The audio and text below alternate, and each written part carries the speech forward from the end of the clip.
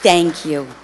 And I welcome you all here today for the symposium, Affordable Housing What About the Future, that launches our exhibition, Affordable New York A Housing Legacy.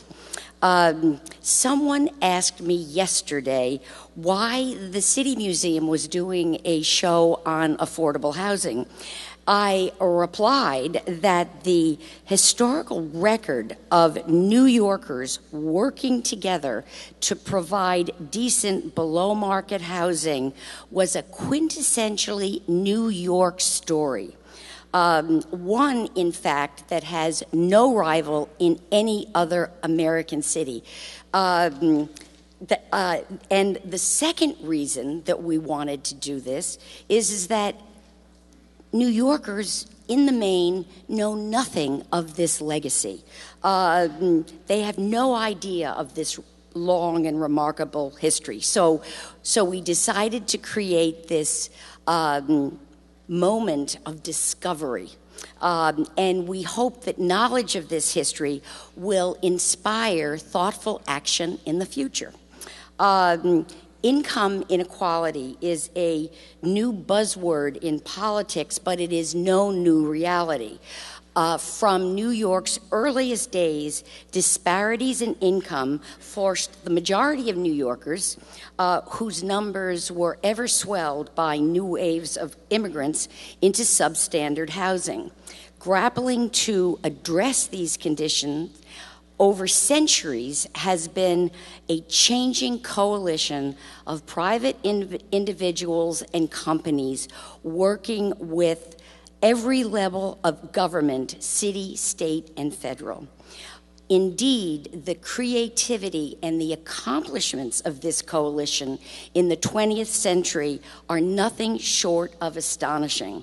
Leaders like Governor Al Smith, U.S. Senator Robert Wagner, Robert Moses, MacNeil Mitchell, Alfred Lama, Ed Logue, and Richard Ravitch framed and passed legislation that built hundreds of thousands of developments to combat slums, create healthy living environments, and by a variety of means to reduce the rents residents would have to pay.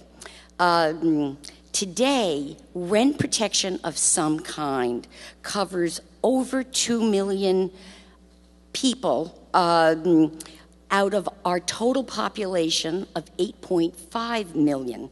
Um, NYCHA houses 500,000 people, uh, a number equivalent to the size of Tucson, Arizona, and much larger than the city of Atlanta, Georgia. Um, buildings that we walk past every day contain units that are or were created as some type of affordable housing. It is an invisible reality um, and a real New York legacy.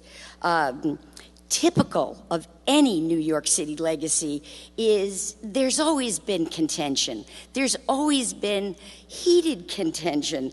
But this inventory of below market rate housing is one of the jewels in the city's crown, supporting diversity and income diversity, providing opportunities for employers and employees. And it is a huge part of what makes our city so different and so great. Um, Mayor Bill de Blasio and his deputy mayor for housing and economic development, Alicia Glen, have brought forth a new focus on affordable housing with Housing New York, a 10 year, five borough plan, released in May of 2014. It promises to preserve or add 200,000 affordable units throughout the five boroughs. The mayor's plan has been supplemented by Next Gen NYCHA, uh, spearheaded by NYCHA Chair and our honorary co chair of this exhibition, uh, Shola Olatoye, and these two initiatives hope to carry forward New York's unusual collaboration to keep decent housing within the reach of all New Yorkers. Um, Deputy Mayor Alicia Glen is a key architect of Housing New York, and she will speak in a New York City minute. Um, today's coalition of individuals spearheading uh, affordable housing includes some of the very good people who agreed to be co chairs of this exhibition. Um, and they are uh, Richard Ravitch, Saky Yakas, my trustees Ronay Menschel and Art Rosner, and a good crew from Nixon Peabody, Alan Cohen, John Kelly, Joseph Lynch, and Deborah Van Amerongen. Um, these co-chairs are they here? Are they in are they have they arrived? I don't think ah okay so all right there you are. I didn't i heard that the nixon peabody folks had please stand up.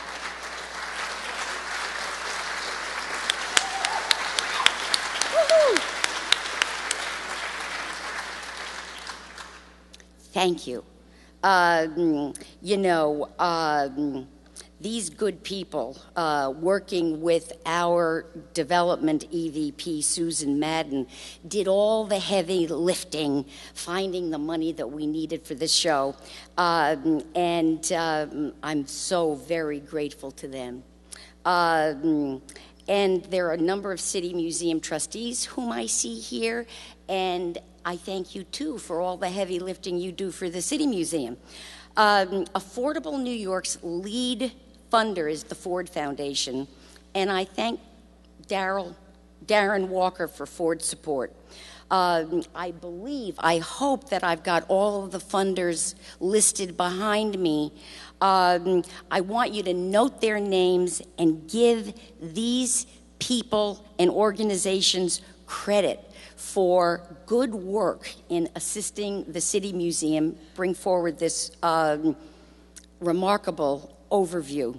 Um, and um, I also recognize other exhibition honorary co-chairs, Commissioner Vicki Been of the uh, of the Department of Housing, Preservation and Development. Has she gotten here yet? And Gary Rodney, President of Housing Development Corp. Um, uh, I don't think they've arrived yet. Uh, also absent, but very much in my mind is our wonderful council member and city council speaker, Melissa Mark Viverito, who is an honorary co chair and one of our earliest funders.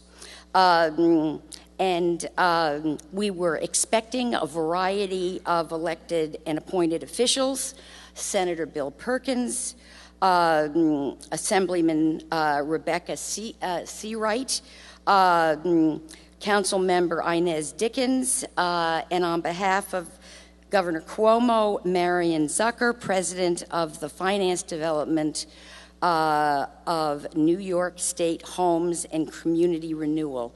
Did any of you get here or any of you here?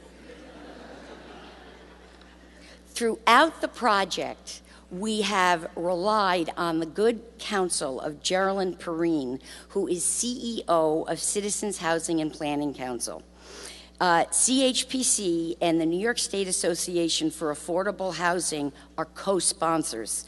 Um, they joined with uh, our curator, Tom Mellins, and his team um, in doing what is a simply splendid job. Um, and I want Tom Mellins and his team to stand. I don't know where Tom is, but I think he's here. There's Tom.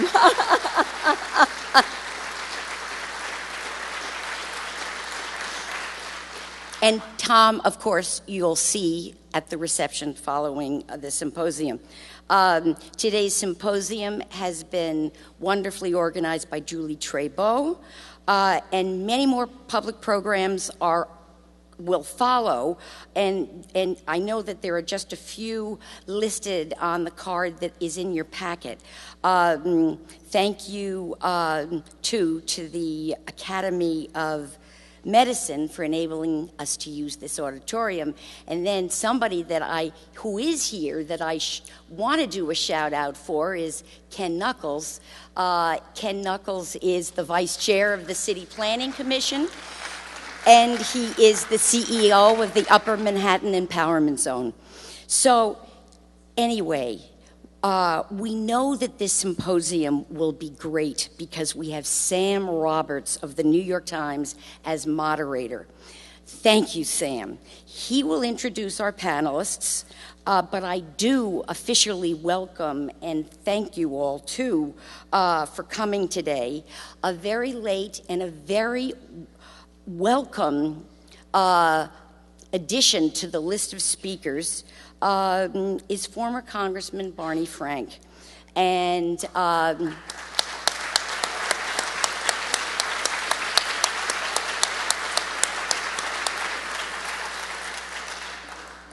Here is an elected, here is a man who served 32 years and in the Congress and who stood for something. Um, he has a background that is sort of like mine. We, bro- we both grew up in New Jersey, um, northern New Jersey. Um, uh, but a hallmark of his service was advocacy and support for housing for, for people with low incomes, including rental housing. Uh, but first, I would like to welcome Deputy Mayor Alicia Glen.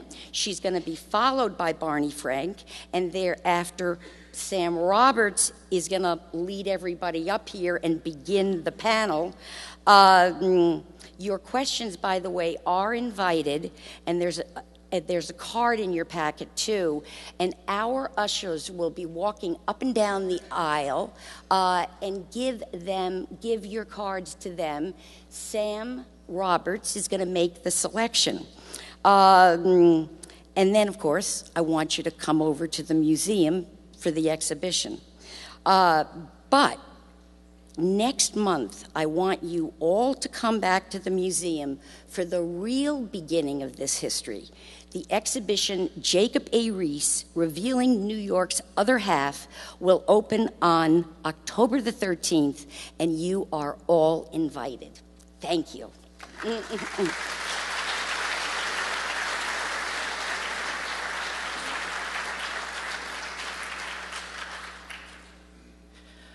Well, let's have a little round of applause for a true New York treasure. Susan, you are the bomb. You are amazing. Thank you for everything you do, and hopefully we'll continue to do um, for us. Um, so, obviously, I'm incredibly excited to be here tonight, and this is my favorite topic. Um, and I'm in a room with people who I've worked with in a variety of different roles in my life, so I'm just very excited to be here. I'm not going to thank everybody from the administration, but I would say we have assembled the greatest team of housers Vicki Been, Gary Rodney, Shola Olatoye, all of whom I have the pleasure of working with every single day, and obviously the city planning chair, Carl Weisbrod, the wonderful Ken Knuckles. Everybody um, is focused on this work, and it is just an incredibly exciting time to be a houser. Um, and again, obviously, Susan, you said the museum does such an amazing job of really highlighting what is so characteristic about New York City and its distinctive features. And I really can't wait to come and see the exhibit on the future of affordable housing. Um, and it really couldn't be more timely. Um, because think about New York, from Riis to LaGuardia to Koch. New York City has always been a leader in housing policy.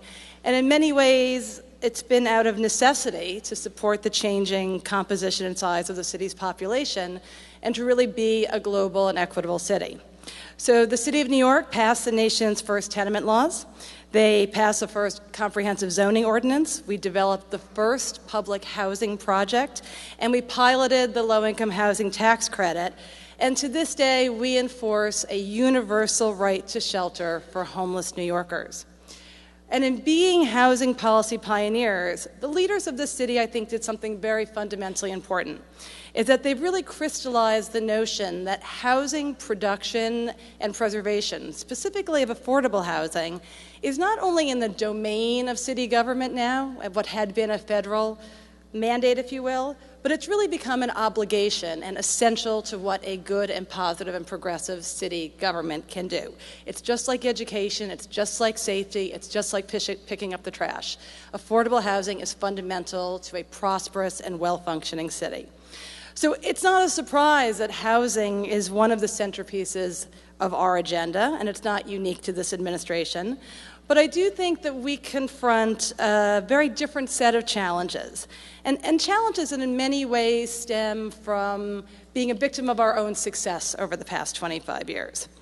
And, and so we, we have unique challenges in front of us. We no longer have a vast inventory of city owned buildings and land, the very material that fueled the production programs of the Koch 10 year plan or 15 year plan, depending on how you count. We have land prices and construction costs higher now than after or before the Great Recession. Rents are rising significantly higher than incomes, and capital markets and investor preferences are changing. New players are entering the housing business, and quite frankly, old players like Congress and the federal government are sort of getting out of the housing business. And we can't forget the challenges around climate change and that aging infrastructure pose to housing production and preservation. So the point is that today we need to grapple with a very different housing ecosystem, as well as unprecedented population growth and shifting demographic patterns that are generating greater demand to live in New York City ever than before. It's great news, but it comes with its own challenges. And it's a dynamic that we celebrate, but we have to recognize that if left purely to the market to satiate the demand for housing, it really could threaten to undermine what makes New York City's neighborhoods great, and equally as importantly, could impede economic growth by making the city even more unaffordable for families, for our workforce, and for our entrepreneurs who want to come here, invent here, and grow their businesses here. So, our housing policy is built on a number of key principles that will allow us to meet the needs of this growing population, but also support a sustainable and diversified economy. None of these are shockers, but I think it's important to lay out our five principles. We must have a housing policy that addresses the city's changing demographics and expand the range of those we serve right? A sustainable and fair housing market must meet the needs of all New Yorkers, including our lowest income residents and our middle income workers who are increasingly being priced out of the city. Two, we really need to rethink the way we do planning and our land use policies, and we are undertaking a massive, massive review of all of the history of zoning and planning in the city because in order to become a more affordable city, we do have to become a denser city while we simultaneously invest in infrastructure and services that will make our neighborhoods more livable. Three, economic diversity is a fundamental cornerstone of our housing development and preservation initiatives. So when we do rezone a neighborhood or we unlock substantial new residential capacity in a private project, we're not just going to encourage people to build affordable housing anymore, we're going to require it. Number four, we need to take a look at our own municipal tools and our public assets and make sure that we're deploying them more effectively. We've got to get rid of inefficient regulations. We have to streamline rules, all of that good stuff, but we're actually doing it. And we're going to align our tax incentive policies with our subsidy programs, all to drive more housing production and have a greater impact and save taxpayer dollars. We have to be creative and we have to seize every possible opportunity to develop affordable housing where it makes financial sense. Five, and I think this is incredibly important and obviously a fundamental pillar of this exhibit. We have to protect all the investments we've already made. There is a long and rich history here. And whether it's NYCHA or the hundreds of thousands of units that many people in this room dedicated their lives to producing, we have to preserve units. And it's not just a numbers game. These are neighborhoods, these are families, these are people who have lived there forever and they should stay there, and we have to preserve that. So we are not going to just invest in new construction. We're going to continue to work with owners of affordable housing to make sure that we don't lose any more units, either to market pressures, to expiring regulatory agreements. We simply cannot stand to lose one more unit of affordable housing. So, Susan said, yes, our housing plan is probably the most ambitious plan in the history of the United States. It's a $42 billion plan to build or preserve 200,000 units over 10 years. And quite frankly, that's probably not even enough. But we're making really tangible progress. So for us, it was incredibly exciting that it wasn't just a policy, it wasn't just a blueprint. We announced a record breaking 20,325 affordable units in the first full year of the plan. And today, and you'll feel it, more shovels in the ground are building more affordable homes than at any time in almost 40 years since the height of the public housing and Mitchell-Lama programs. And we are working on numerous rezonings and making capital investments in neighborhoods across all five boroughs to lay that groundwork for more affordable housing and amenities rich mixed use communities. We know that to continue to be successful, to keep up these numbers, to keep up this pace, we need a bigger tent of stakeholders. The public and private sectors need to be more collaborative and innovative than ever before. So, being here and seeing everybody from such a diverse set of constituencies and being partners in this unbelievable, exciting, and important initiative is so fantastic for me. So, when the museum reopens Affordable New York, hopefully in 20 years, I guess it'll be Affordable New York 2.0, it's my hope that this administration will be credited with having really moved the needle on housing and for setting the city on a path of inclusive, place based growth that future generations of New Yorkers will be proud of. Thank you and have a great panel.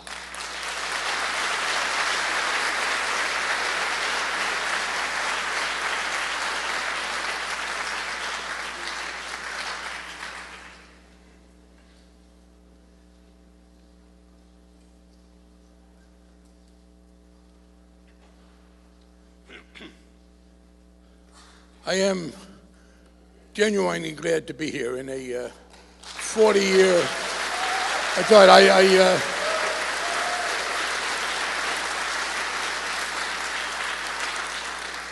uh, in, in 40 years in elected office, I, uh, I, I said that I was happy to be places more often than I, in fact, was. Um, by the end, I really was ready to uh, reverse a cliche, and uh, at least once I did finally say, Yes, I am here with you in person, but I cannot be with you in spirit. Um, here it's both. Uh, and I'm very happy because one of the frustrations for me during that career has been the failure to include affordable housing for low income people in the list of important liberal goals. Uh, healthcare and education are very important, but there is a tendency, and if you look at national politics, if you look even at many of my Democratic colleagues, there is a tendency to focus on them. It's not an accident that the, the leading liberal federal agency is the Department of Health and Human Services, and it excludes HUD. Well, the good news is we have our own separate department, those of us who care about housing, but the bad news is that it is the younger sibling and gets much less attention. So the first thing we have to do is to emphasize, including to many of our fellow liberals, the importance of decent housing as a central part of an agenda to help low income people, including, and I'm a great believer in the argument that says when you talk about the defects in education, as you see this in young students not being able to learn well, the absence of a decent place to sleep and study and eat is clearly a factor in the disparate impact, and we are asking teachers to overcome housing deficiencies. People who talk about improving education for the poorest people in the society should understand that having decent housing for those children is an important piece of this. It's also true as to health.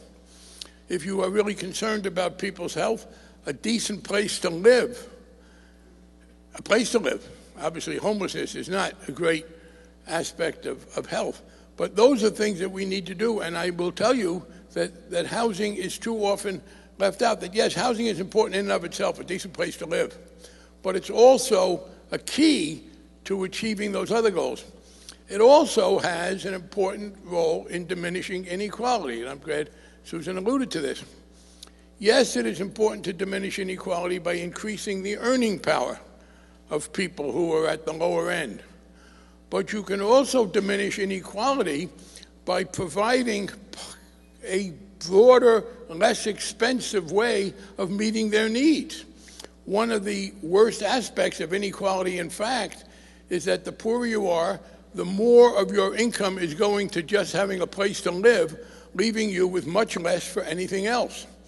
And so, diminishing, in fact, if you look at the numbers, you people here know them, when people are paying 50 and 60 percent of their income for housing, that's a fundamental cause of the unequal status in which they live. So, those are things that we have to argue. Uh, this is within the liberal community. I, I, I will tell you that there just isn't enough attention. The next level has to do with, with uh, a more broader public, but includes, I will tell you, a lot of my colleagues. There is a serious cultural lag. You here are an audience of people who understand housing. I think you would be surprised at the extent to which, if you talk to some even reasonable members of Congress, and it's diminished some but not enough, and you talk about affordable housing, and they immediately telescope it all into public housing, the varieties of doing this disappear but they conjure up in their minds Cabrini Green and Pruitt-Igoe and Columbia Point. They conjure up in their minds these soulless, terrible slabs into which we stuck the poor people so because we wanted to do them cheaply. One of the things you ought to be doing, run tours for the wonderful affordable housing that exists. I had these constant arguments when people would say to me, well, that kind of housing, that's not very good. It's not very desirable. The answer, of course, is to show them the waiting list for every one of these developments that we have. It may not, if it's not desirable, why do so many people desire it? In other words, don't take for granted both the perception of the, the needs affordable housing fills and how well we can do it. Next, I'm very glad that the Deputy Mayor talked about preservation. It's a very important issue for a couple of reasons. One of the areas where I differ from some of my liberal friends is the assumption that we live in a world in which there is a wonderful, beneficent set of voters whose good intentions are often frustrated by uh, ill intended politicians who inexplicably have been elected by these well intended people. I'm never sure how the mechanism goes forward. Well, the fact is, that in our society, and I plan to talk more about this, uh, politicians leave a lot to be desired. The media, in my judgment, in its current negative form, contributes a lot. But the voters are no bargain either. And you know that because one of the major obstacles to affordable housing is putting it somewhere. And again, we have to take that head on. I want to do tours in the city of Boston, for those of you who know it. Think for a minute about the intersection of Arlington and Tremont Streets in Boston just at the beginning of the South End, at the end of the Back Bay. On one side of Tremont Street, there is the most expensive private housing in Boston, L'Atelier, a very high end condominium where you get all kinds of very fancy services. Across Tremont Street is the first 221D3 done in Boston and maybe in the country in Castle Square. And it is a, a 221D3 moderate income housing project. It's been racially integrated for a long time, and it has a public housing project for the elderly in the middle of it. So the most expensive, desired private housing in Boston exists across the street from a housing project for lower income people built with public money. Now, I've learned to be defensive in my arguments, and I will concede that Tremont Street at that point is a very wide street. It's a six lane street. and it has, a, it has a divider. But as I listen to the terrible things that people say are going to happen if low income people live near them, live near them, I don't think a concrete divider really meets their fears. So we have to deal with this. But that's the, one of the beauties of replacement. When you preserve a unit, keep it from going out of the affordable inventory, you don't have to go through the fight of putting it somewhere. It's already there. By the way, the very fact that we have to do preservation is an example of the fallacy of the argument that affordable housing destroys neighborhoods. Because, in fact, what we have is people who have now decided that the affordable housing that they once said was going to destroy the neighborhood is a great place to live. We have this in Boston. In Boston, where we did a lot of the 221d3 and 236 and some mass housing finance stuff, many of the, uh, in the, again in Boston, the South End, there were a lot of these units. And when I got to Congress, one of my major jobs was to keep them in the housing inventory. Unfortunately, because of the way they wrote the programs, the only way to do that was to buy out the right to take them out of the out of the system because you couldn't preempt their, their, their rights, their property rights. But the fact is, we would not have a problem of affordable housing becoming unaffordable if it were true that it was a terrible place to live. What we have is people with money want to bid out the poor people because it turns out it's not such a bad place to live after all.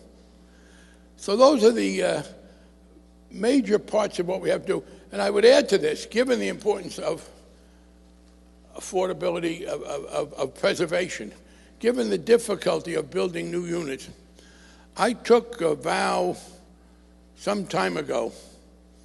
Um, it was an affirmation, actually, um, that um, I would not support the destruction or removal from the inventory of any existing habitable unit for low income people without at least a one for one replacement, and they pretty much had to have started on the replacement before we kicked the people out. This notion that you improve cities by thinning out the number of low income people is what we're talking about. Because when you say, okay, this housing is so wonderful, let's sell some of it off. And the problem is that we never get the replacements. And given the difficulty of finding places where you can put that in. The, the, the, notion that you should take, that you should diminish the existing stock is a terrible idea. So that then leads me to my, uh, my major point. How things get done, obviously, is specific to each city. And I'm very encouraged to see what's going on in New York and the commitment to affordable housing. And as I said, I think some of what I've said so far, documenting the, the, the, importance of it beyond simply a bed and a, and a, and a, and a roof, preserving what we have, showing people how desirable it can be, and because it's a vicious cycle. Build it cheap, and it won't be a good place to live. And then when it's not a good place to live, you can't get money to build it better. And we have, we are fortunate been able to break out of that in some areas. But here is the key point. Let me make uh, the point that I think is there is one essential thing we have to do if we are, in fact, to going to make a to, to make substantial improvements in the availability of affordable units for low-income people. We have to reduce the military budget of the United States. Do not kid yourself.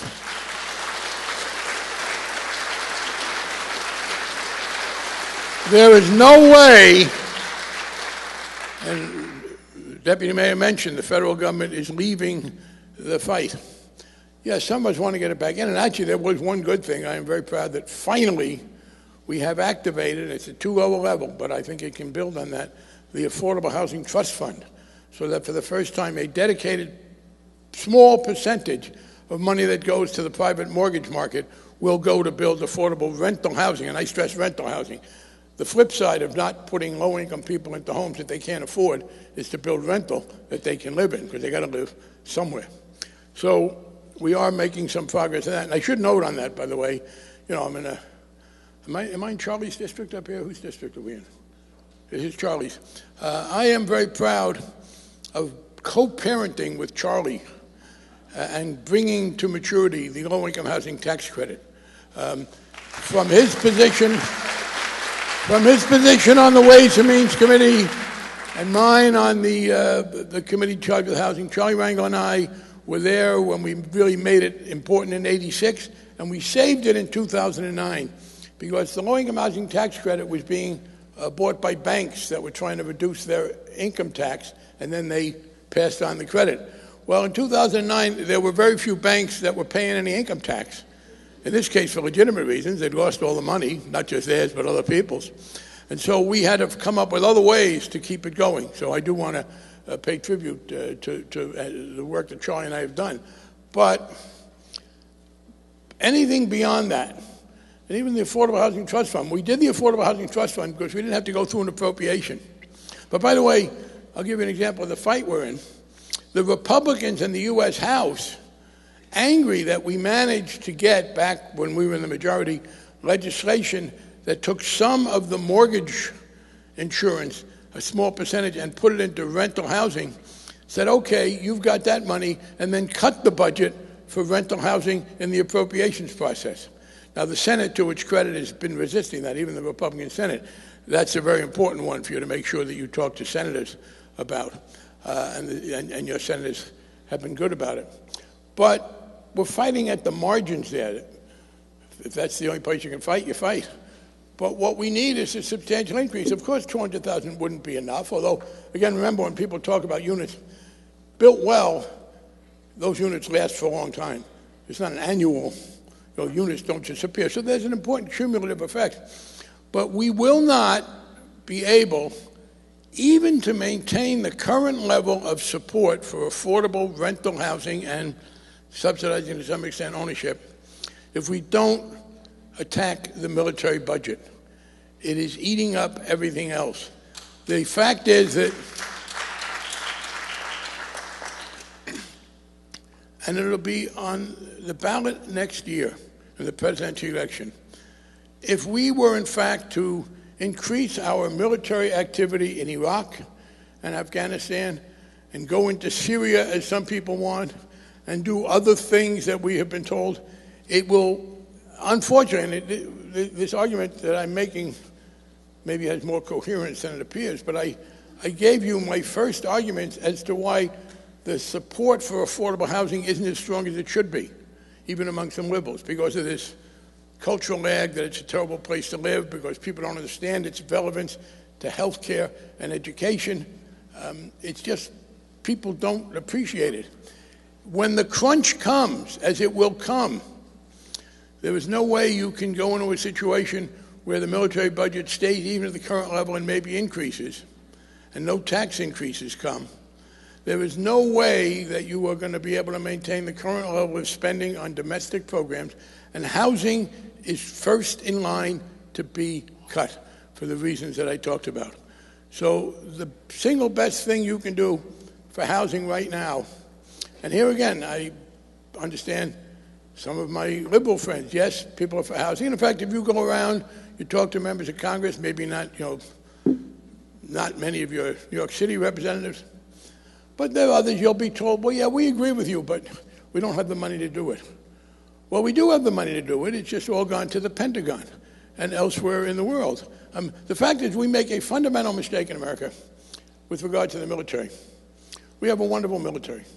And that military can do as well as any military in the history of the world what a military can do, and that's to stop bad things from happening. Unfortunately, we have gotten into the mode of thinking that the military can go into foreign countries with no real knowledge of what's going on and make good things happen. That we can reduce corruption and end interreligious strife and promote democracy and coherence, and we can't. And we waste a lot of money trying. So that's the message. It's fairly straightforward. Um, you in this auditorium know how to build decent housing. We know that built well, it is very important for people. It has an economic multiplier effect. It has a very important impact on reducing inequality. It does a lot of good things. It sends kids to school in a better position to be able to learn. The single biggest ingredient that is lacking is the money to do it. And people say, well, you can't just throw money at things. Yeah, you know what? That's what people say when they don't like something. Um, have you ever, ever heard a conservative say that we can't make America safer by throwing money at the Pentagon? They're too busy throwing money at the Pentagon to be able to say that. The fact is that given the plans that you have, the expertise, the need, think about what a, an infusion of hundreds of millions of dollars a year would do to help implement that program here and elsewhere. So money is the key, and it is we are we are not. It is not that we are not rich enough to do it. It is that America has taken on itself a military role beyond what is sensible. And I would add this if I thought it was possible, by the use of our military force, to bring about improvements in some of these terribly troubled societies, I'd have a problem. I'd probably have to say, okay, we'll do it, even though it's going to hurt us at home. But we can't do it. You, you, you cannot send the best trained and armed young men and women into a foreign society where people are fighting with each other and, and expect to, to resolve things. We, we are concerned, well, we can't withdraw. Well, you can, you know, you can withdraw if you intervene in a society which is being attacked from outside and it's a stable society, and you help that society repel an attacker, and you can get out.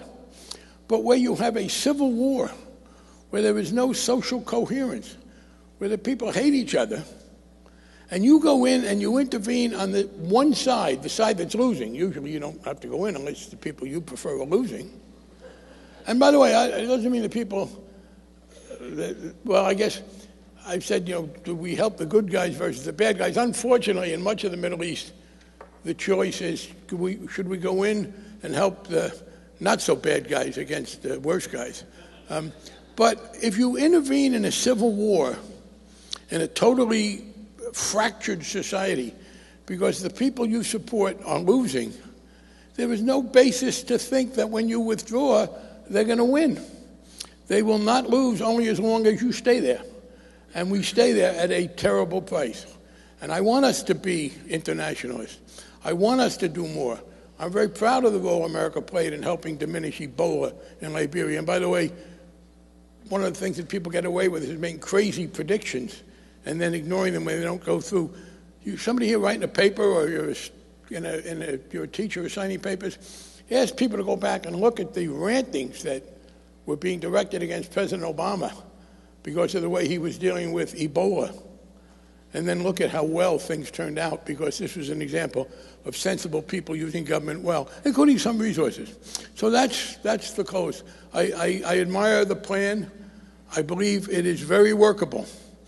And there is one thing that it will be lacking, and that is money. And money, of course, exacerbates everything else. People worry about the buildings. Well, if the buildings, you don't have enough money to do them well, it makes it all worse.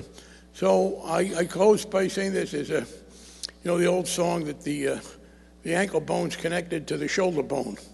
You work your way up. I guess that's an appropriate metaphor for this uh, institution. There's probably a skeleton or two hanging around. Um, the best thing you can do to implement the plan that will meet part of the need for decent housing for low income people and give them a good place to live and support the diversity of this city and its economy and help people get a better education, the best thing you can do is to demand that your elected representatives in the House and the Senate begin the process of bringing the American military budget down to a reasonable level.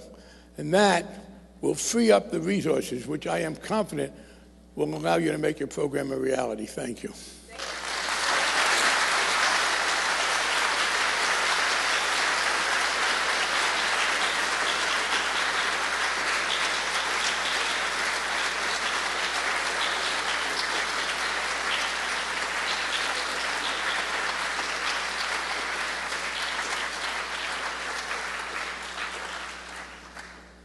Thank you, Deputy Mayor Glen, and thank you, Congressman Frank. I'm just sorry that uh, the congressman wasn't able to get into a little bit more of how he would fund uh, housing. He had some good ideas about rental housing, getting uh, surpluses now from Fannie Mae and Freddie Mac. Uh, they are now back in business, uh, and he was talking about uh, using those surpluses to help fund and subsidize rental housing. Um, one of the things you may have noticed in the two Republican debates we've heard in the past month or two is I don't think the word housing ever came up.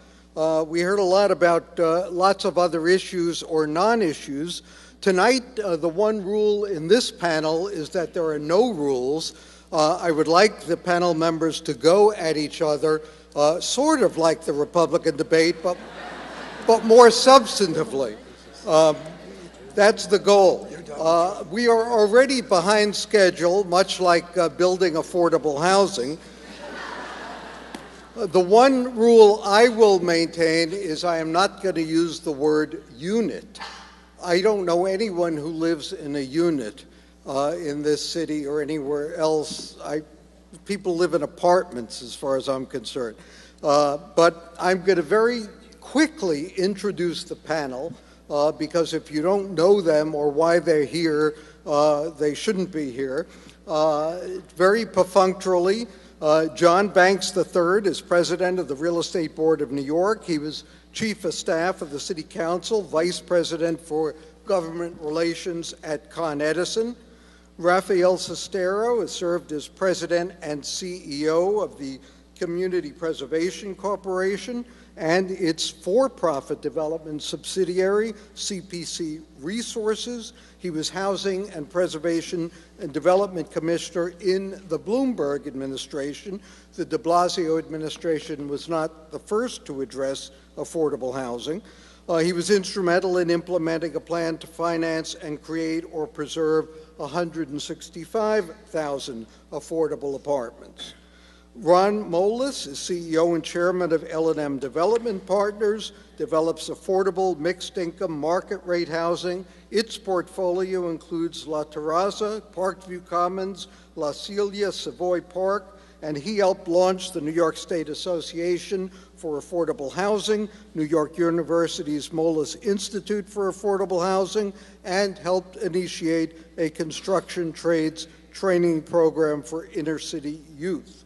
Richard Roberts, Managing Director of Acquisitions for Red Stone Equity Partners. He was the city's Housing Preservation and Development Commissioner, oversaw the creation of over 30,000 affordable apartments, also founding Managing Director of the Goldman Sachs Urban Investment Group.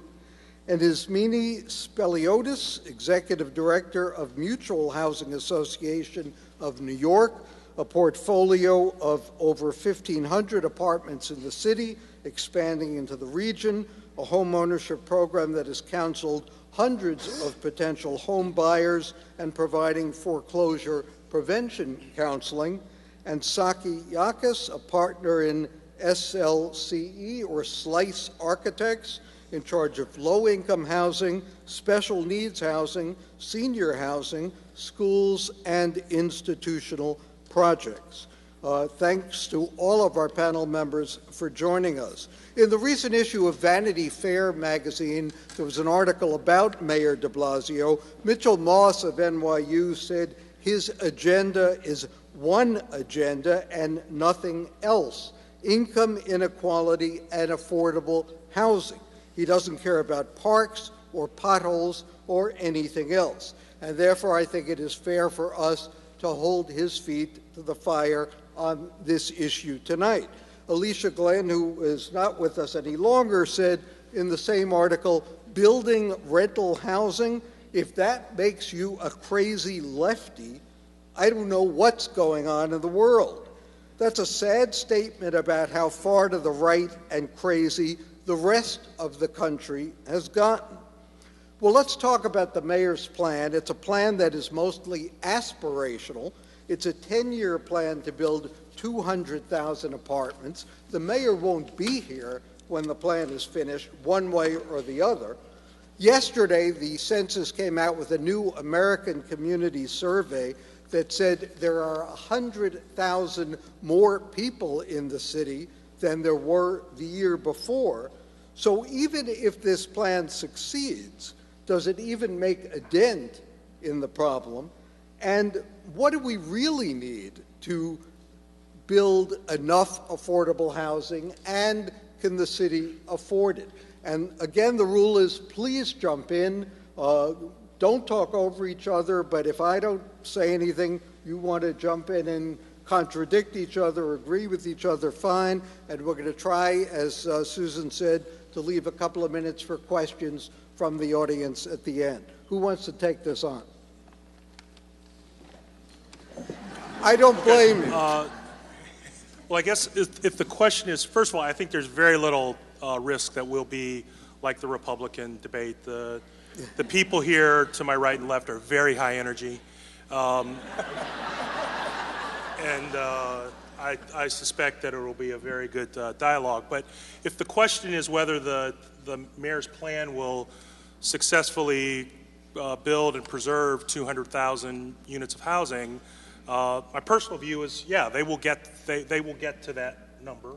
Uh, I think that the the um, the delivery system for affordable housing in New York City, because of what has transpired with respect to the you know the prior administrations and many of the people around the room here, not to um, uh, I think provides the, the basis and the framework for doing that. And I think that the the emphasis and the focus that the administration has. I mean, the, you know, affordable housing in New York City is a little bit like a symphony orchestra concert. You know, the administration that is uh, plays the role of conductor, uh, usually using the baton, which is HPD, uh, and its affiliated agencies, uh, to try to move the, the process forward. And sitting in the seats are a lot of very talented people who kind of understand what needs to be done, and I think are appropriately incentivized to get it done. Um, but I guess the bigger question is really, uh, and I think the deputy mayor's comments, she kind of said at some point, you know, will it even be enough? Uh, I think is probably the, the really pertinent question, and I'll leave the people here to the right and my left who have more energy and more smarts to kind of address that. Well, so again, even if we build 200,000 in 10 years, how deficient will that be? How much of a gap will the- that leave? The, the, the one thing I'd, I'd, I'd like to um, mention is that at the moment there are more units being lost, being converted to market rate, which are subsidized units, than anything that any program at the moment can um, meet. And I, I haven't heard any legislation or anything trying to stop this sort of bleeding uh, from the inventory, inventory that exists from disappearing. Uh, do, do any of you have any, any comment on that? Well, I, I, um, I think, I Let think me, could I just interrupt one second? In case uh, you can't identify the speakers, they are from right to left alphabetically. Uh, So if you look at your program, you can identify them that way. I'm Donald Trump. No. Um, um, you know, I, so just if I could, um, I think, clarify um, what, what um, um, was just said. I think the, the loss of units that, that was referred to are the loss of rent regulated units. Um, rent regulated units are um, being lost um, to uh, the rent regulation system, but those units are not, um, are not subsidized in the same way that the affordable housing units that will be created under uh, Mayor de Blasio's plan, or were created under the Koch plan, or were created under the Bloomberg plan, or were created during the Giuliani administration. There is a, there is a, an, an important distinction between those units, and that's not in any way to say that um, the loss of rent regulated units isn't something that we need to, to, to, to pay attention to. But the affordable units are, are, are subsidized um, and they are um, and, and they are rent restricted, but they are also income um, restricted, so that they are targeted at people um, that earn a certain income uh, to be able to afford those rents. Um, there are units that are affordable and have been subsidized in the past that are definitely being uh, that and have been lost to the to, to the system, um, but but it's not at a pace that, that it's not at a pace that outpaces the development that is happening um, in in the city. And I think to Richard's point. Um, I don't- I don't think there's any doubt that the administration will achieve its goal of 200,000 um, units. Uh, And I think if the answer to your question originally, um, Sam, if, if that question was about um, will low and moderate income families and, and, and households in this city um, and will neighborhoods be better off because of that um, uh, plan, I think the answer is absolutely resoundingly yes. Um, will the city be more affordable? Um, I think that's a more complicated question. Um, that has to do with market forces. It has to do with population growth. It has to do with the fact that we're a landlocked city and we can't, you know, we can't annex um, large swaths of land to build and create uh, units. So I think the question of will New York be empirically, quote unquote, more affordable at the end of uh, at the end of the day, um, I think is a more complicated question. Go ahead, Ron, then I'll- You want- Please So jump I- right I- in.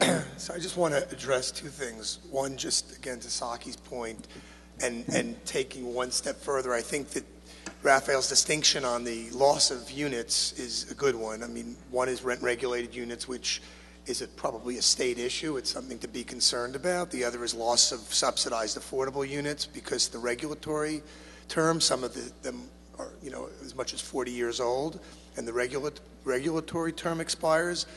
I do think, and this is an answer to your question, that the city is making an effort, and this administration more of an effort than ever, although it started in the last administration, to create programs that are not hugely expensive, somewhat creative. Some of them involve federal or city subsidies, some of them might involve tax incentives, to keep existing affordable units affordable for the, for the long haul. And I think 60% of that 200,000 is anticipated to be what they call preservation of affordable units, most of which were affordable and they're preserving for the future, some of which need to be renovated. Many of them don't need a tremendous amount of work, but just need to extended regulatory agreements and extended use uh, periods, and I think there is an effort to do that. And I think they're they're getting more and more creative, and they're trying to do it efficiently, so they're not spending a ton of money. I also just want to comment on Mitchell Moss's comment that you quoted. I read that article very quickly, so I, I don't remember the whole context. But and, and and we may get back to this later, so I'm just going to comment that I I think this administration is focused primarily on affordable housing, but I do think they care about the ancillary aspects that come with affordable housing. And I think we're all getting better at figuring out how to do that, which is, you mentioned parks, it includes education, healthcare, you know, healthy food, retail, good retail use, infrastructure, security, jobs, all the things that, you know, um, afflict some of the neighborhoods where, where a lot of us are building. And I think the idea is to incorporate not only the housing aspect of what we do, but also try, try to improve and implement uh, um, parts of our developments that can improve the other areas. And I think I would disagree with his comment. I think there is an interest in this administration in providing effort to do that as well. Ted Cruz is not on this panel, so I think I can safely say everyone here is in favor of affordable housing. Why can't it get built? What is the biggest obstacle? Well- I'll just jump in real quick. First, I want to support um, what Rafael and what Ron said. I, too, am optimistic about the administration's goals of 200,000 units. I, I think there are the tools in place and the, the um, support in place to reach that goal. Um, quite frankly, the, the reason that um, we can't build as much as we want is it's money. It's incredibly expensive here to build rental unit housing. And given the dynamics of the cost of land, the cost of construction, and the taxes that are uh, uh, assessed against rental property, it's very, very difficult to put together a financing plan that allows you to build the housing that you want to build. We have a couple of former commissioners. What can the city do about that? Well, I mean, I think I, I mean I think this administration is doing um, uh, number one is doing a lot, and I think the history of this city um, is that the city does a lot. Um, that's what this entire um, uh, night is about, and that's what um, you know Susan's exhibit uh, is about. And and really, we're very lucky in New York to have a city that has such a long history and such a legacy of creating and preserving affordable housing. Um, the challenge that's unique that the deputy mayor pointed out um, in her remarks uh, for this administration is that most city land is now gone. Um, there are not vacant buildings all over the city that need to be renovated. Um, by the way, that's good news. Um, and, and, and so there has to be a new way of thinking about how to um, uh, create um, the opportunity to develop. Because John's point, the cost um, of developing uh, affordable housing is very high.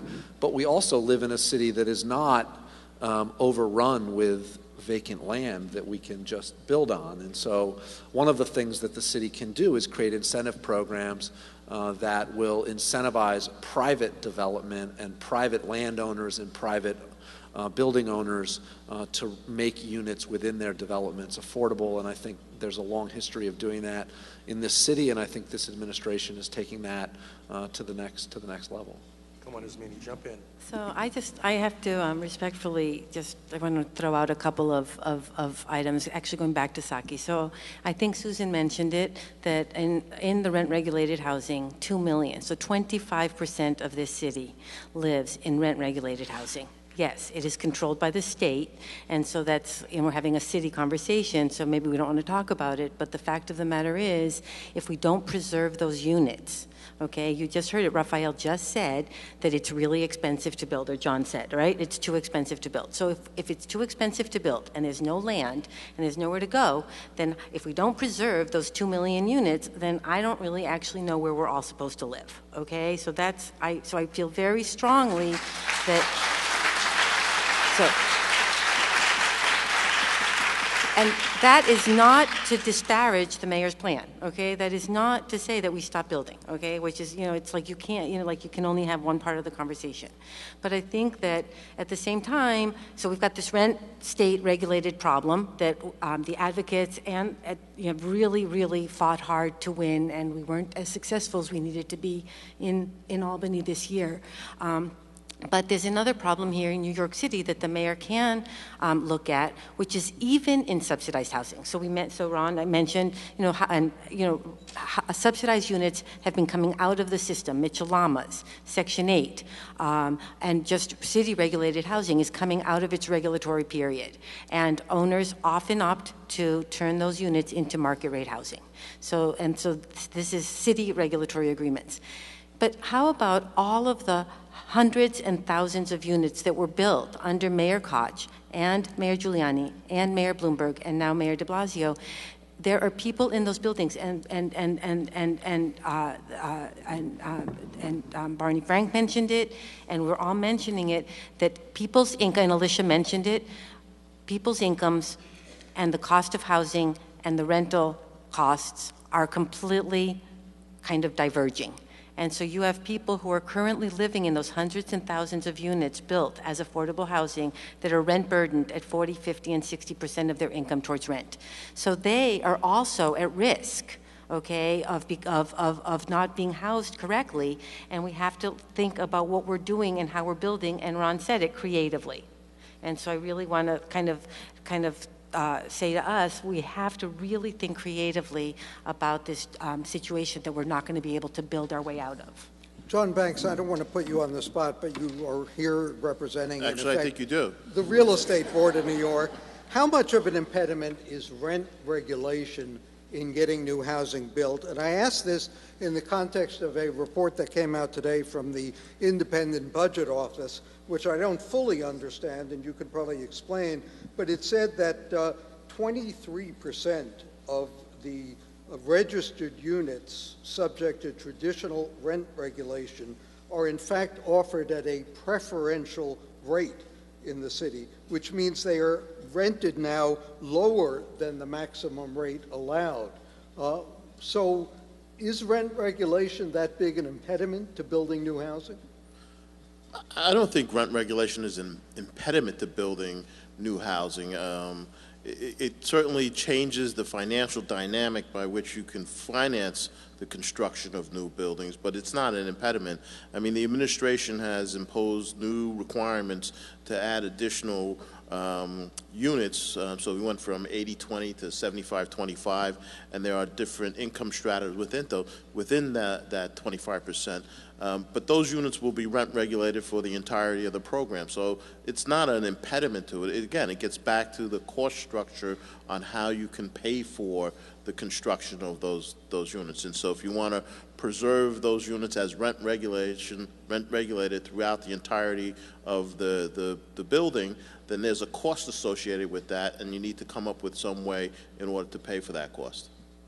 Uh, one of the gentlemen in the audience came up with a formula called inside the rent. If you want to raise your hand, uh, which is a formula looking at the cost of building a building and then calculating what the rent is. I sort of played with it the other day and found that virtually nothing was affordable uh, to build. Fortunately, I'm not in the building business, but we talk about affordable housing. If you had this conversation anywhere else in the country, people would think you were crazy. I went to the website of HPD and looked up affordable housing. A two bedroom apartment on DeKalb Avenue in Brooklyn uh, is renting for $2,400 a month, and you can be eligible for that apartment if you have an income ceiling of $128,000 for a family of three people. So, are we defining affordable realistically in this city? And what about all the people who can't afford affordable housing? So,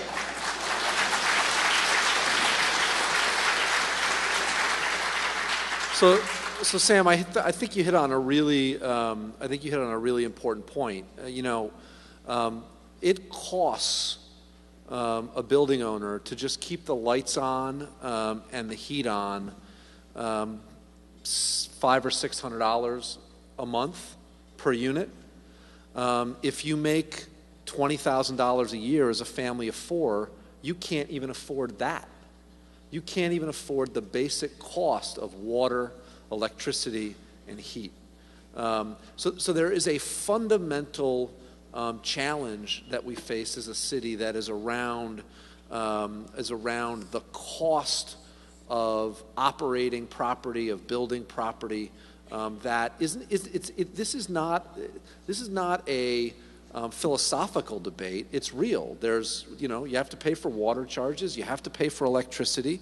Um, you know, you have to pay to, to for the gas uh, for the boiler to keep the building heated. That costs money. Um, and so, really, you know, frankly, um, if, you, if you were to ask the question, what is the answer? The answer is not building, although building is really helpful and we should certainly keep building. The answer is um, rental subsidies uh, that, will, that, that are based on people's income um, so that we can ensure that people are, are able to, are, are paying what their income can afford, but buildings have the revenue that they need to be able to be maintained and heat uh, and, and hot water and electricity in the buildings. The challenge with that, as the congressman uh, knows, is that programs like the federal Section 8 program um, are astronomically expensive.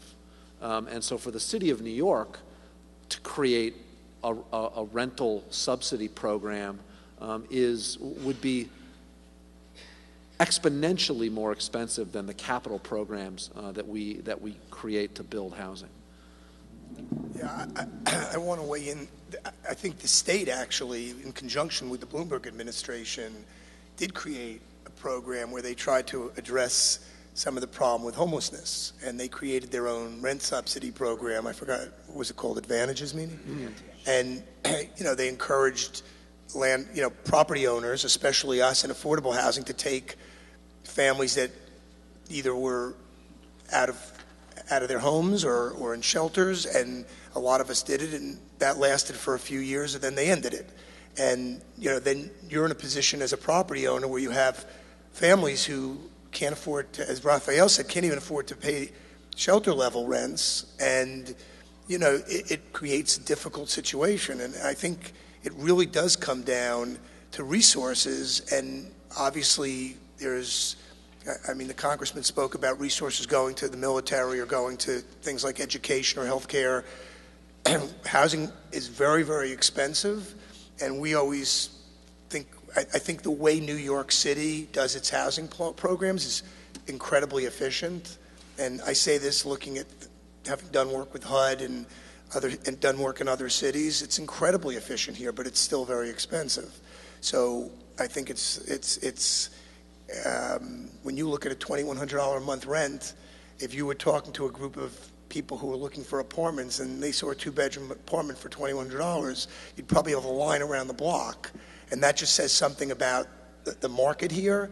And, you know, the $130,000 income level, I think that's on the high side of affordable housing. And my guess is probably 90% of affordable housing is well below that. But in New York City, I think affordable housing is defined at somewhere 130% of median, so it goes up. So The congressman raised a point about how important housing is in reducing inequality. One of the measures of that is the uh, panel that Mayor Bloomberg created, the committee or council or whatever on economic opportunity, which found that the poverty rate in the city, which was about 21%, would go up to 28% if it were not for the housing subsidies that are being granted now. So if you have a Republican Congress that is not inclined to come up with rental subsidies, with housing subsidies, why can't we persuade Albany to come up with those subsidies? Uh, when Albany ends a program like that, why can't the city, assuming we can get the mayor and the governor talking to each other, develop the kind of constituency for an issue that everyone seems to agree is in the public interest. I genuinely, without, I hope, being naive, don't understand that. So I just want to say that the mayor, in fact, has in, has in fact uh, devised and implemented uh, several rental subsidy programs, okay? And uh, one, if there are developers and owners and managers in this room called LINC, and it's a five-year and it's provided, and, he, and, he, and they met and they came up with all of these really creative ideas. I just also want you to know that, in fact, there are thousands of people walking around the city of New York with LINC vouchers, and they are they're not at, you know, $5,000 a month. They're not at $4,000 a month. They're at the $1,000, $1,200, $1,500, $19, I had a call today, $1,900 a month. And these people cannot find a place to live. Not because they're not around, because there is a stigma attached to people who are walking with those vouchers. And so people, developers, are not taking those vouchers. And so I think we really need to look at ourselves in the mirror and say, yes, are you going to fill a full building with Advantage and then the program gets cut and you're completely, you know, then that's a problem. But you can't put one or two LINC voucher people as they kind of figure out, you know, and some will make it out of, of a subsidy and some won't. But we're not actually doing our part. The mayor has stepped up his game. He's created this program, and we're not actually playing. One of the things that we talked about, in uh, you raised actually, uh, as many uh, in our previous discussion, was the notion of housing segregation, segregation, economic isolation in neighborhoods, something that's actually getting worse across the country, doesn't seem to be getting much better in New York City. It's too expensive uh, to build uh, for the poor in high income neighborhoods, for one thing. How do you lure higher income people into lower income neighborhoods? How do you deal with the question of land? Uh, uh, Richard Roberts, I think you, well, you I raised the question of, you know, land is cheaper in the region in places like Newark, but New York City doesn't have the power to subsidize housing in places like that. So how do we take advantage of where land is cheaper or cross those boundaries? Yeah, I, you know, in the, I guess the preparatory call we had to discuss about, to discuss this panel, we talked a little bit about the idea of the, which I don't think anybody else shares here, but uh, but they're all they don't have the same energy. Um, um, the idea of looking at kind of regional a regional approach to the affordable housing question. You know, you uh, think about areas where uh, land would be cheaper, or construction costs, for example, would be uh, would be cheaper. Um, that's assuming that things like infrastructure um, and transportation and things of that nature uh, worked, and, and that's a big assumption. And that uh, Westchester will let you build housing yeah. exactly, particularly for the population. We're talking, you talk about stigma, right? Uh, particularly talk about the, the populations that we're, we're talking about. Um, it's one idea, it's, it's, it's, it's one approach that may yield some fruit, the idea of looking at housing development sponsorship by government agencies in some kind of collaborative or on a, on a regional approach. I will point out, though, that the examples of regionalization right? We don't have shining examples. I mean, if you, you know, I don't know that we're holding the Port Authority up as, uh, as, as a, you know, as a shining example of. And not this week. Right, of, of, of, of regionalization and regional cooperation to solve what are, you know, very complex problems. But, uh, but I would hope that if, if we were to go down that road, we could, uh, we could do it better. I would say, Ismene, one thing I do think it, it, it, is that I think there are examples. Uh, I think it's to, play, to, to paint a broad brush of developers or owners. I think that there are much different developers or owners uh, in all the communities and neighborhoods we're talking about, who, and some of whom are responsive, uh, and to people who, uh, who are getting assistance and some who aren't. I mean, I think uh, some of the scatter site programs, for example, uh, that worked with formerly homeless and supportive and special needs populations. Uh, we did have people, uh, owners and landlords, many of them nonprofits, right, who were very receptive of those populations and very receptive of helping people and including them in a um, in a in a in a lar- in a building in a larger context where people had much different you know many different needs uh, in terms of their housing. So uh, I would hope that eventually you know folks with LINC or other would find find a way to work themselves into the uh, into the uh, into the market and maybe we're not providing enough support and assistance to to owners in order to get them comfortable uh, that the uh, that, that, that folks uh, you know will be successful uh, in that housing. I'm not sure how many of you have seen the HBO series, but it's tough finding heroes to build affordable housing uh, in the region. What I'm struck by is the NIMBY reaction in places like East New York, where people, whether for congestion or whatever reason, say we don't necessarily want affordable housing or more housing or more congestion in our neighborhoods. Yeah. How do you persuade them that more housing, which they want in theory, is a good thing? Yeah. But basically, I'm the architect here, so I'm not as knowledgeable on the finances. I'm on the periphery of that but I lived through the process of getting drawings approved, having agencies look through everything, having these days five or six funding sources, going to requisitions where you have different agencies pulling in different directions. And I'm finding, because I've been doing this for about 30 years, once upon a time, you used to have um, one agency, say the HUD 202 program, up to about the mid 90s, which would cover most of the costs of a senior housing project. Now, uh, that program has been sort of uh, stopped, and even the ones which went ahead recently again had HPD funding, had HUD funding, tax credits, all sorts of things. Now, all of that creates a time factor and increases the soft costs for these projects. Uh, it delays, and I've been on projects which have taken from inception to fruition eight years, you know, for 70 or 100 units. You, you then finish the units, and you have 100 units of senior housing, and you have 20,000 applications, eligible applications. You do the same with supportive housing. You take years and years to finish them, and in, as in a recent project I have since HPD has now allowed people to apply online, we had 124 units and they had 45,000 applications. So uh, th- there's a major problem in even with the 200,000 units, the, the need is, is just, um, you know, is great. And I've also been lucky enough to work in Yonkers and Mount Vernon, for example, who have fantastic transportation to the city.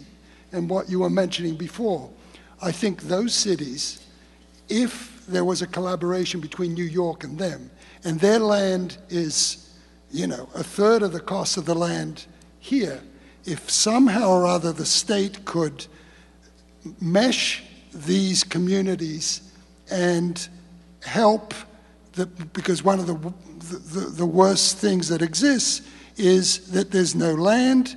Uh, they're constantly looking for parking lots next to churches or uh, NYCHA land, and the community boards are complaining that you're putting buildings and, you know, breaking my light and this, that, and the other.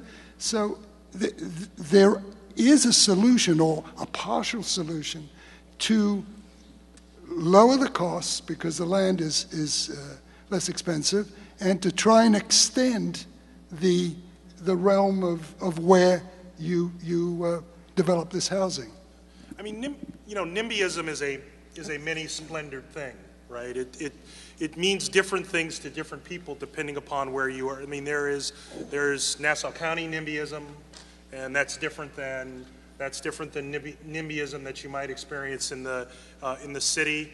Um, you know, in and, and some of it is justified, right? I mean, there is a there there was a feeling certainly uh, when I worked at HPD among certain communities that there was a disproportionate allocation of supportive and special needs housing uh, in the community. That once we had established places where we felt we could get it approved, we just kept coming back and coming back. And we never came back with anything different or more varied.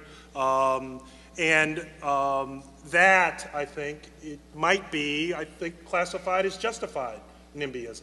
Uh, but then there are other examples where it, it is somewhat inexplicable uh, in terms of the um, uh, all of the issues that we're confronting because obviously we got to build it somewhere um, and, um, and, you know, change is hard in some instances, but uh, we obviously have to site it where we can, you know, where we can site it. So I, I work in East New York, so I just want to say that um, we've spent the last two years, uh, I've been working in New York for 20 years, but I um, but spent the last couple of years since the mayor really, and Alicia mentioned it again, the deputy mayor mentioned that when you don't have land, you have to go, and it's a city, in urban, you have to become more dense. And so there is this idea that low income and low dense communities are opposed to density.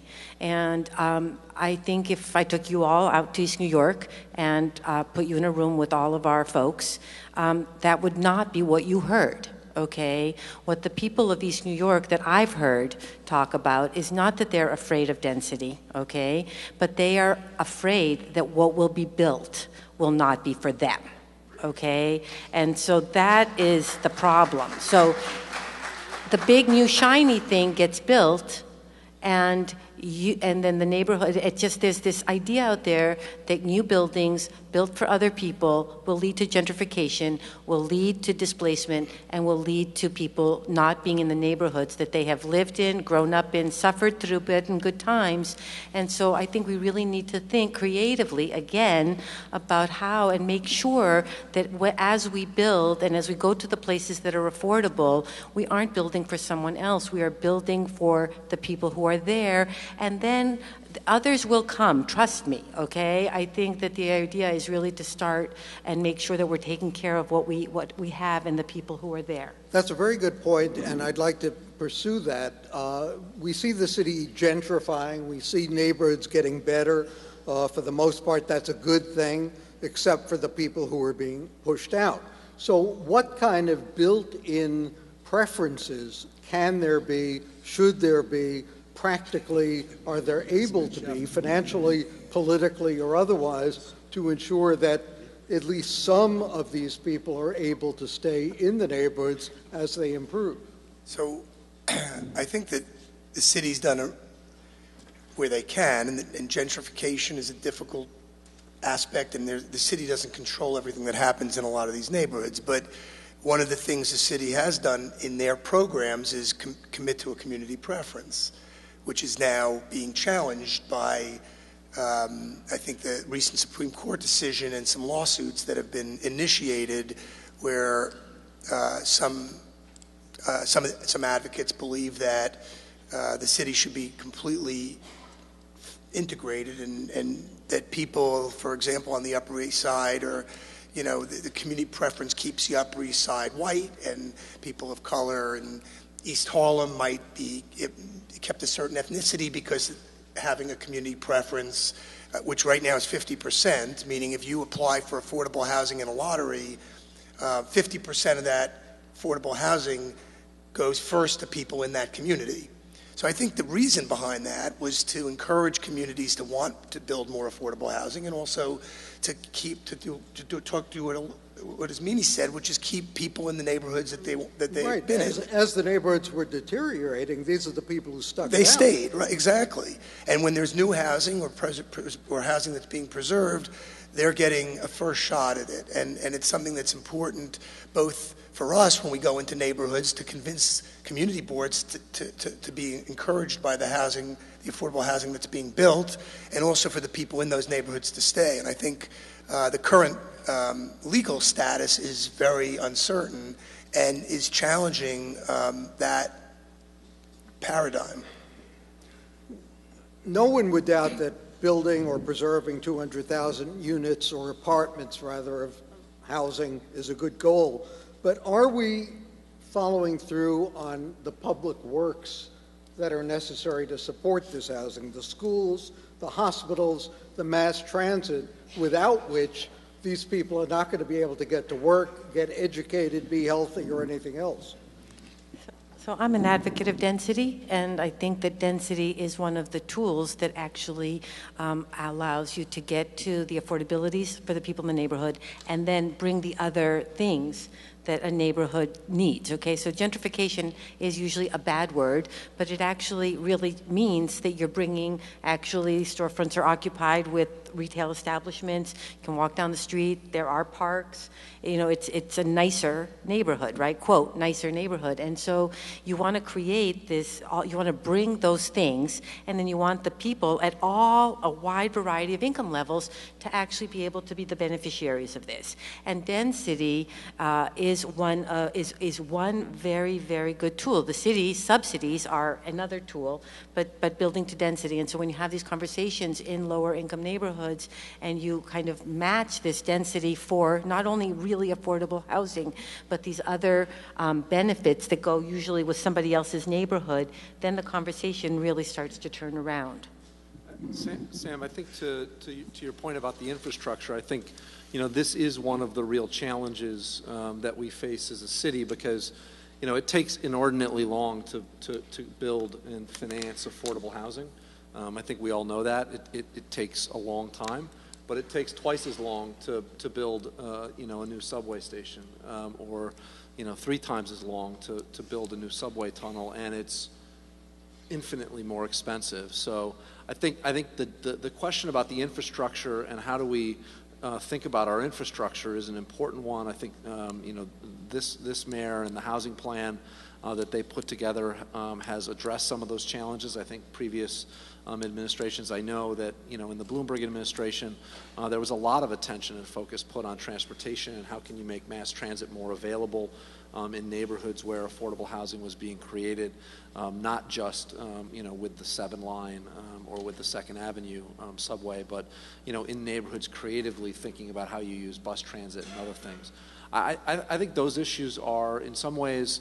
Um, you know, as critical um, as any. And I think, to Ismene's point, you know, the density uh, allows you to pay for a lot of that stuff too.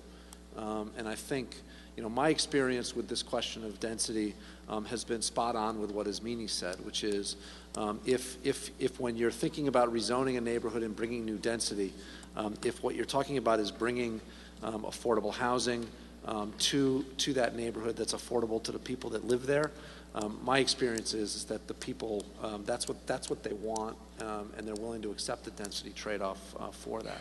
Right. Because on, on top of these issues of infrastructure and the loss of affordable units and the people that are already here, and the, you know, the terrible traffic and the terrible airports and the housing is too expensive, they keep coming. More and more people are coming and they are, you know, and they are putting a lot of pressure on those of us who are already here. Uh, and so it just creates this phenomenon of we can't build enough, we don't have enough for the people that are here, and the estimates are that the population will continue to grow because people keep coming. And That's a very good point, and there was an article in the Wall Street Journal this past Sunday that sort of raises a, an interesting question, which I'm not sure is applicable or not, but let me throw it out to you. Walter Russell Mead was talking about the refugee crisis, the migrant crisis in Europe. And he said that the European Union is asking member states to accept 160,000 refugees, maybe more. And he said 10,000 refugees are one thing, 10 million is another. And somewhere between them is a tipping point, a breaking point, at which the political system will no longer carry out the legal mandate to do the right thing uh, that people consider, you know, politically or legally right. Do we face that problem at all with growth in New York? It wasn't all that long ago we were talking about planned shrinkage. I'll, I'll just jump in for a quick second. First, I want to just harken back to the earlier question about infrastructure. I think the administration, the, the uh, de Blasio administration, is doing a great job of trying to incorporate those amenities and those needed infrastructure improvements within their housing plans. Um, if you think it's expensive to just build affordable housing, add a subway station to that, add um, additional infrastructure of water and sewer, parks, schools. There are so many other things, and that you have a limited amount of resources, right? And as you add things to the development of any given area, you shrink that pool of resources for use somewhere else. So I think the administration is doing a good job in trying to um, balance those needs um, to the greatest extent possible. I don't think we're um, in danger in the near term of uh, having a similar crisis. Um, I think we have a housing crisis. I think everybody here would agree we have a housing crisis. And if we could magically build enough market rate housing and increase the supply of housing, therefore the price would come down at some point and you would be able to have a more livable city. But that is a tremendous amount of housing, and given that we are constrained by land and other resources, it's not something that's going to happen today, but it's, it's coming at some point in the future. The Museum As of the City of New York, I'm sorry, ju- go ahead. Can I just say something? As far as infrastructure goes, unless the federal government provides money, for example, you come to New York, you get off at Kennedy or at LaGuardia, and there's no subway or no train to, to bring you into the city. Any other major city in the world has it's, it's like coming to a third world country sometimes when you come here. Um, you, you, you deal with the utility companies, with Con Edison or with DEP, and uh, DEP is the uh, for sewer and water, and you, it's like a whole other country, a whole other bureaucracy. You, you, you're trying to open a building, and these people are holding you hostage because of a minor piece of paper, which doesn't mean anything to anybody. So you're spending another six months keeping people from moving into their units. Now, th- this, th- there's no coordination of the utilities of, the, of this city. There's no coordination in the infrastructure, which should, most of this money should come from federal government, which should give to the state and the city to be able, and not only this city, but every city. It- it- the, the whole country, the bridges, the roads, the, I read a statistic recently that the US, only 3% of the US population uses public transportation, it- which is mind boggling. You go to uh, London or, or England, for example, and, and 45 to 50% use public transportation because public transportation exists, because the government creates this um, system so that they can use it. So that influences the difficulties in creating public housing. All of these things have influences on being able to put this stuff together. Sorry. Here's a great question. I'm afraid I know the answer to it, but let me ask it anyway. Uh, can affordable housing be made a profitable business so that it does not depend on government funding or subsidies? We, we talk about we talk about market forces. We talk about the you know demand, the mother of invention. Isn't there a way to make affordable housing profitable So- or not? So, that, I mean, that question, we probably need another couple hours, but, and, and as Meany and I both have profitable businesses and, you know, but you, we run a, I mean, whoever develop, we're uh, two people on the panel who develop affordable housing, so I think when you develop, it is a business, and with all the things that we're saying and all the things Saky just talked about, about the difficulties of it, and he just touched on it, um, you need, uh, I think, smart people, thoughtful people um, who can put together uh, the, the three or four years it takes at minimum to do a new construction affordable housing job and maybe less so on preservation. But so it, it is a business, and hopefully, if you do it right, you can be good at what you do and build the affordable housing and make money doing it. And even the nonprofit sector that's involved in this, I think, um, generally uh, does does make development fees, and they may roll their money back in for other purposes. But it's a business that does run as a business. Your question, which is much tougher, is can you do this as if you're building market rate housing? Can you do this business and not get government government subsidies? And I think there's a.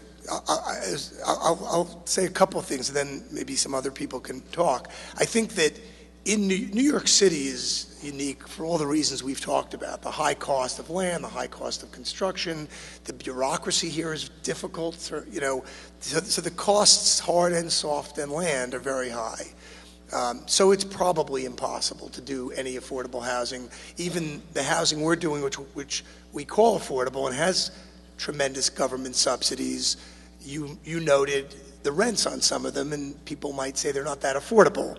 So I think one question is, you know, to do real strong, affordable, low-income housing is impossible to do without subsidies Market rate is subsidized. but even some market, but but there is, I mean, at, at some level, there's there's the ability to do what I would call workforce housing, which we don't call affordable housing, but goes to John's point about creating more market rate housing in neighborhoods.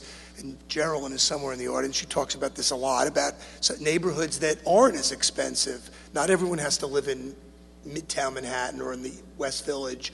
Um, so you can go into it, as Ismene mentioned. Right, they you- could move to Brooklyn if they well, can but- afford well. Brooklyn's getting expensive.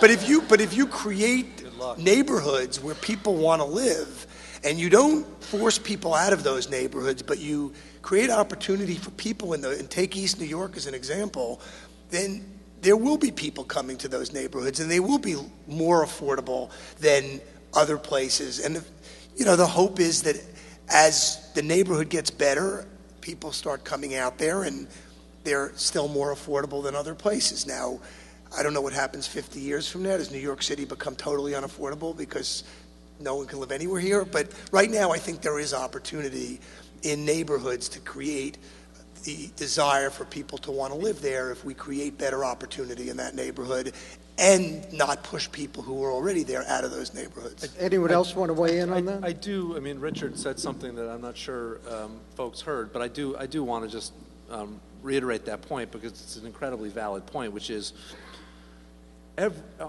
all housing in the United States um, is m- subsidized, even homeownership. Right? I mean, the the mortgage interest deduction is the largest federal subsidy for housing um, in in the country. So. I, I mean, I don't, I don't, I, I'm not, you know, market rate housing in Manhattan um, gets, um, get, do, does get tax exemptions. So I don't, I mean, I'm not sure the question is, uh, what, you know, what the, what the question about whether you could do it without, you know, when the, when, when it costs six hundred dollars um, just to keep the lights on and people that need affordable housing can only pay four hundred, the the market's not going to solve that without some level of subsidy. So Yes, I, so I just want to say, you know, we, we, I actually believe that you can create a model, and I really feel like the mayor and his inclusionary program has, is, is in an effort trying to get there. Um, in Manhattan, in, in certain parts of Manhattan, uh, the rents for the market rate apartments are somewhere between 75 and 85 dollars a square foot. Okay, so this is not everywhere, but there are places where the rents are. So let's say you have a, an apartment that's a thousand square feet, 75. Let's do it on the low end, 75 dollars a square foot, not 85, even though we know there are 85 out there. That's 7,500 dollars a month. Now, Rafael has told us three times tonight that to keep the lights on, it's five or six hundred dollars. Okay? Now, it's probably a little more than that, so I'm not going to give him a hard time. But the fact is that if it's five hundred dollars to keep the lights on, and you're getting seventy-five hundred dollars for one apartment, there are seven thousand more dollars, okay, that are going somewhere in that building. Now, there's the mortgage, and there's a whole bunch of other stuff, so I'm not gonna like under, un- you know, I'm not gonna say. But the fact is, you're telling me at seventy-five dollars a square foot, you can't find a, a handful of apartments for people at a variety of lower income and moderate income levels that you could actually incorporate in that building and still make a profit? I find that really hard to believe. And-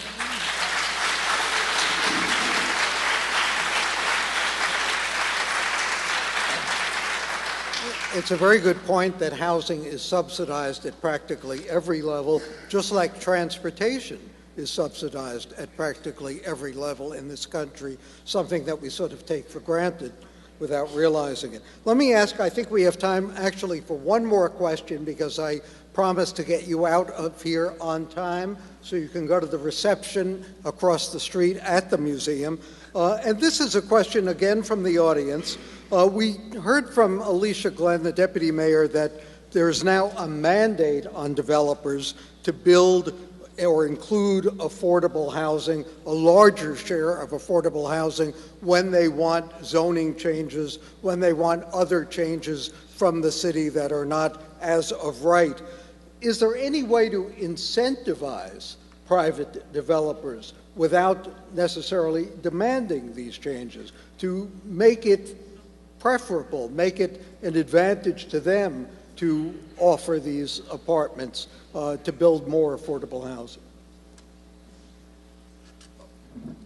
Well, I think I guess I think, not. I think no, I, I, I think the Bloomberg administration had what they called uh, they had they had inclusionary housing programs that were incentivized programs where they were they offered benefits to encourage market rate developers to do affordable housing. I think that De Blasio is about to, I don't think they've formally done this yet, but about to take it one step further. And this is called mandatory. Um, they're Well, going is that because the Bloomberg program didn't work? um, I, I, I- I don't, I don't know that it didn't work. I think that the environment is different now. I, I would, this is a longer conversation, but I think, I think personally that the inclusionary housing is a, very small part of the numbers that are going to be produced.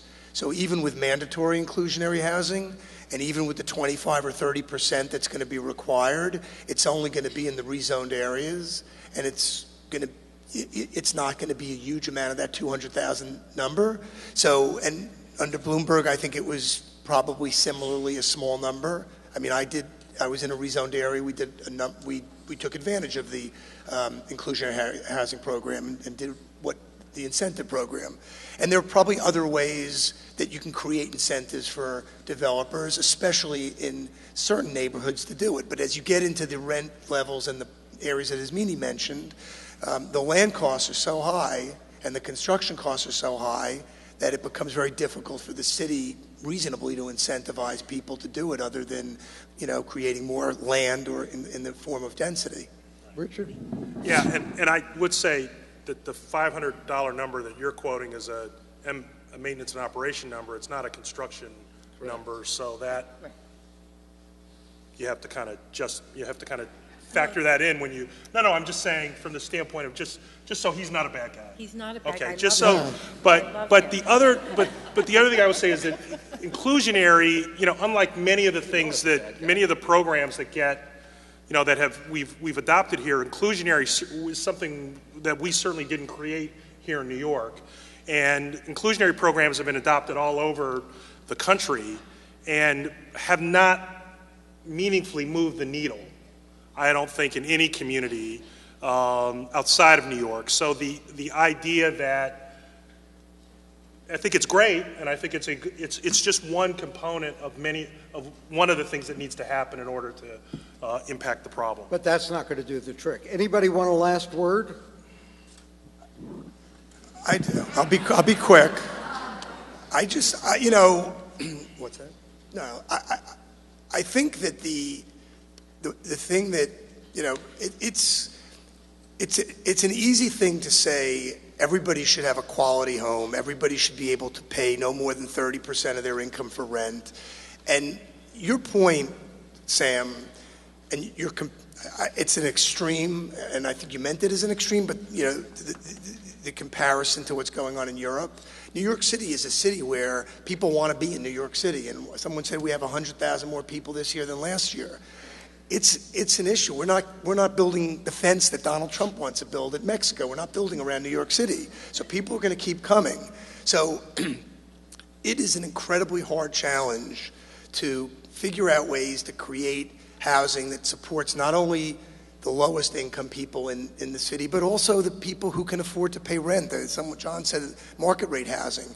And I think that what we have to be careful of here, we have the city is there's a lot of you know the mayor put a lot of money into affordable housing, a lot more than ever before, and he's able to do that I think because the tax revenues are so high. City's doing very well financially. He's able to do a lot of things both in education and infrastructure and housing.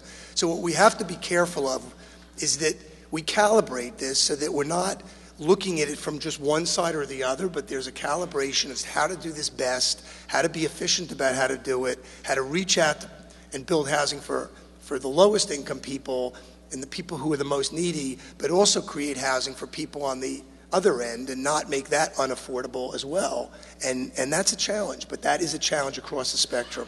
I'm sorry we didn't get to talk about home ownership and some other issues. The latest American Community Survey that came out yesterday says that in the city, something like 56% of renters are paying more than 30% of their income on rent, about 40%, 47% of owners with a mortgage paying uh, more than 30% of their income on housing costs. Thanks to John Banks, Rafael Cestero, Ron Moelis, Richard Roberts, Ismene Speliotis, and Saky Yakas. Thanks to you. And please join us across the street for the reception.